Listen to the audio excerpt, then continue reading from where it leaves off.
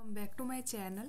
So so, vertebrates की series को continue करते हुए आज हम एक नया टॉपिक डिस्कस करने जा रहे हैं that is scales in fishes पिछली वीडियो में हमने फिशेस के अंदर लोकोमोशन देखा था that is information related to fins जो है वो हमने डिस्कस की थी। आज हम स्केल्स के बारे में डिस्कस करेंगे। फ़र्स्ट ऑफ़ ऑल किसी भी क्वेश्चन को अटैम्प्ट करने के लिए वेदर वो फाइव मार्क्स में है टेन मार्क्स में है हमें एक प्रॉपर इंट्रोडक्शन और कंक्लूजन की ज़रूरत होती है। अलॉन्ग विद दैट स्केल्स के टाइप हम देखेंगे उनके फिशेस के अंदर एवोल्यूशन जो है वो कैसे हुआ, कैसे जो है मॉडिफिकेशन जो है देखने को मिला है स्केल्स में और फिर उनकी सिग्निफिकेंस जो है फिशेस में क्या है मतलब क्या इंपॉर्टेंस जो है वो स्केल्स रखती हैं। फ़र्स्ट ऑफ़ ऑल इंट्रोडक्शन की जब हम बात करते हैं that is fish scales are dermal origin that is dermis से जो है इनका ओरिजिन हुआ है which is derive from mesenchyme और मीजन काइम से डर्मिस का फॉर्मेशन जो है वो हुआ है। Okay then there are different type of scales in fishes and some fishes are without scales अलग अलग टाइप की स्केल्स देखने को मिलती हैं। कुछ फिशेज ऐसी भी होती हैं जिनमें स्केल्स नहीं देखने को मिलती। सो so, स्केल्स जो होती हैं, वो वेरियस नंबर ऑफ़ पर्पजेस को सर्व करती हैं। एक सिंगल पर्पज़ जो है, उनका बेसिकली देखने को नहीं मिलता। अब टाइप्स में हम सबसे पहले बात करते हैं कोस्मोइड स्केल्स की। अब कोस्मोइड स्केल जैसे कि हम डायग्राम में देख पा रहे हैं, इनमें लेकोने प्रेजेंट होते हैं और जो आउटवर्ड बाउंड्रीज जैसे कि हम देख रहे हैं, इन्हें कैनेलिकुलाई कहा जाता है। So they are virtually bony plates and very much thick thick जैसे कि इनके साइज़ से ही हम देख रहे हैं। थिकर होती हैं। It is found in crossopterygian fishes और उस्टैकोडाम्स जो हैं प्लेकोडाम्स हैं और एक्सटिंक्ट हो चुकी हैं जो टेरिजियन फिशेज उनमें ये कोजमोइड स्केल्स जो हैं, वो देखने को मिलती हैं। Then the second one is the ganoid scales ganoid scales again जो है वो सिमिलर होती है कॉस्मोइड स्केल से ही, लेकिन थोड़ा सा डिफरेंस जो होता है that is they are comparatively thinner और रोम्बोइड शेप में ये होती हैं। It is characteristic of ganoid fishes ganoid type की फिशेज होती हैं, जैसा कि नाम से ही पता चल रहा है, जैसे कि कॉन्ड्रोस्टी है और होलोस्टी है, उनमें ये जो है स्केल्स देखने को मिलती है। देन साइक्लोइड स्केल्स की अगर हम बात करें सो साइक्लोइड स्केल जैसे कि हम डायग्राम में देख रखे, देख रहे हैं that is it consist of concentric lines of growth okay ये क्या होती हैं? लंग फिशेज में मिलते हैं एमिया और लोअर टिलियोस्टेन फिशेज जैसे कि कार्प्स हैं कोड्स हैं, उनमें देखने को मिलती हैं। This scale is very thinner लेकिन हार्ड होती है। ओके स्ट्रॉन्ग जो है वो ज़्यादा होती है, ये हार्डर होती है। Then the next one is the ctenoid scales okay ctenoid जो स्केल्स जो हैं वो थिनर होती हैं अगेन हार्ड होती हैं, जैसे कि हम स्ट्रक्चर में देख पा रहे हैं टीथ जो है वो इनमें प्रेजेंट होते हैं।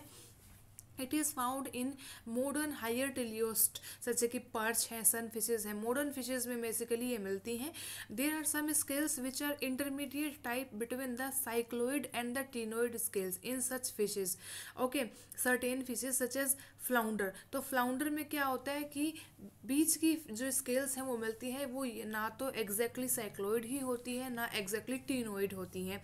Okay they bear both scales that is ctenoid scale जो है, उनमें डोर्सली प्रेजेंट होती है और साइक्लॉइड स्केल्स जो होती हैं उनमें वेंट्रली प्रेजेंट होती है। Next one is the placoid scale so placoid scale जो है जैसे कि हम डायग्राम में देख पा रहे हैं it consist of a spine basal plate होती है इसमें जो कि डर्मिस में एम्बेडेड होती है। So so, placoid scales are closely set together in the skin giving it a sand paper like quality उसको वो देता है placoid scale is characteristic of again elasmobranch fishes microscopic होती है and hardly two M M long ज़्यादा लंबी भी नहीं होती एंड वेरी हार्ड हार्ड तो देखो है ही। So this scale is very bony but doesn't affect the flexibility of the fishes flexibility पे कोई भी असर जो है वो नहीं पड़ता बोनी है तो भी। ओके okay, इवोल्यूशन की अगर हम बात करें so by the diagrammatic representation हम इसको डिस्कस कर सकते हैं ओके सो बेसिकली स्टार्ट हम करते हैं प्लेकोइड स्केल से दैट इज़ स्टार्टिंग में जो है डर्मल पेपिला है पल्प कैविटी इसमें प्रेजेंट होती है डेंटाइन एक हार्डर लेयर आउटर जो लेयर है वो होती है इनेबल जो है अपर लेयर होती है सॉफ्ट लेयर होती है। प्लेकोइड जो है लेटर कन्वर्ट हुई into the cosmoid scale okay cosmoid जो है इसमें एक स्ट्रक्चर है जिसे आइसोपेडिन कहा गया। ऊपर की जो लेयर है उसे स्पॉन्जी बोन कहा गया। कोस्माइन जो है अपर लेयर हो गई। Okay then it converted into ganoid scale और गैनोइड स्केल जो है वो दो, जो है वो कंपार्टमेंट्स में डिवाइडेड है। जैसा कि हम डायग्राम में देख सकते हैं, जैसे आइसोपेडिन जो है एक स्ट्रक्चर इसमें प्रेजेंट है। जैसा कि कोस्मोइड में भी था।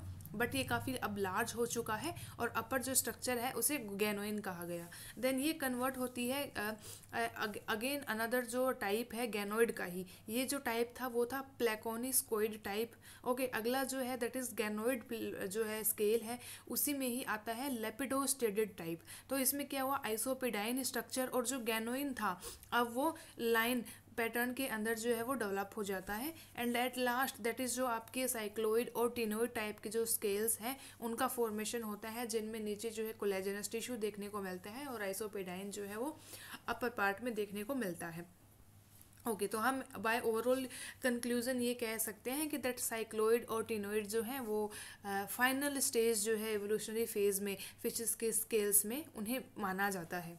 देन इवोल्यूशन अगर हम बात करें कि इवोल्यूशन जैसे देखो अब तो स्टार्टिंग जो है, सबसे पहले जो जो आपकी थी दैट इज़ ओस्टेकोडम्स ओस्टेकोडम्स कौन थे? फ़र्स्ट वर्टिब्रेट थे, जिनमें डर्मल बोनी कवरिंग थी बॉडी के ऊपर. उनसे जो है थ्रू सम अननोन एंसेस्टर्स जो है, वो क्या हुआ? साइक्लोइड और टिनोइड फिशेज जो हैं, वो आई.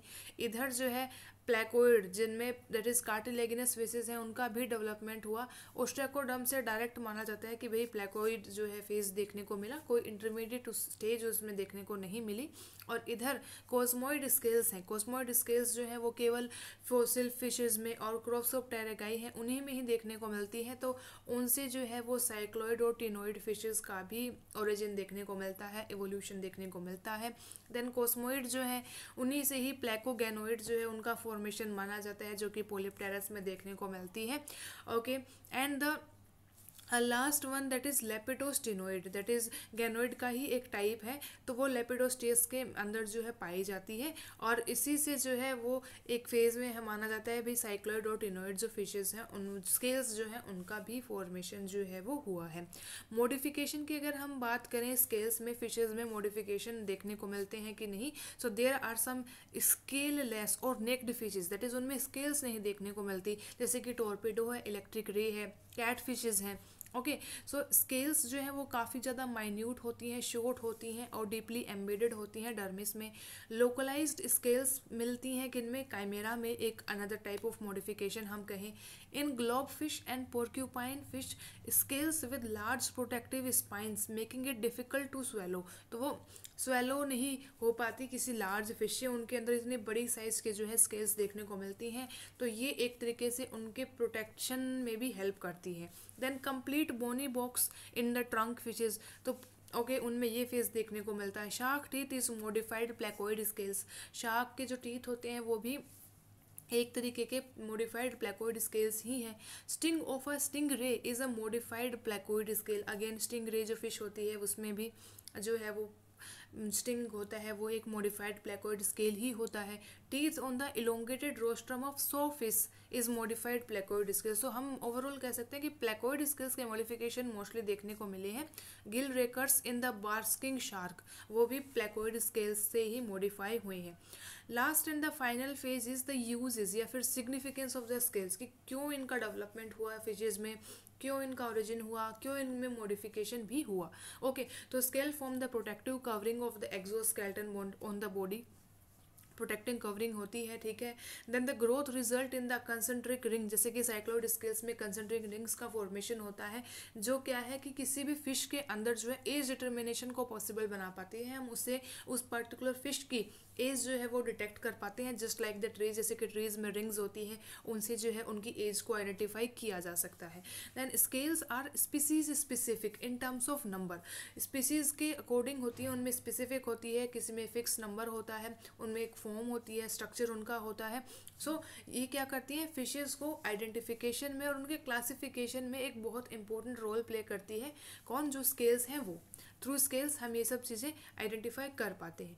Then the shark skin with placoid scales when tanned जब उसमें टैनिंग हो जाती है तो उसे शार्गन कहा जाता है और उसे एक अब्रेजिव के तरह यूज़ में लिया जाता है पॉलिशिंग पर्पजेज के लिए। मतलब पॉलिशिंग में उसका यूज़ जो है वो देखने को मिलता है। Then scales of garpikes are use for jewelleries and novelties उनको ज्वेलरी और में जो है काम में लिया जाता है। Pigment derive from the scales from some fishes use in manufacturing of artificial pearl so scales में से कुछ पिगमेंट ऐसे निकलते हैं, कुछ फिशेज में, जिन्हें कि आर्टिफिशियल पर्ल बनाने में भी काम में लिया जाता है।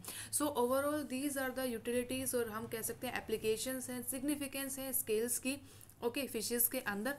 सो या this is all about the scales in fishes thanks for watching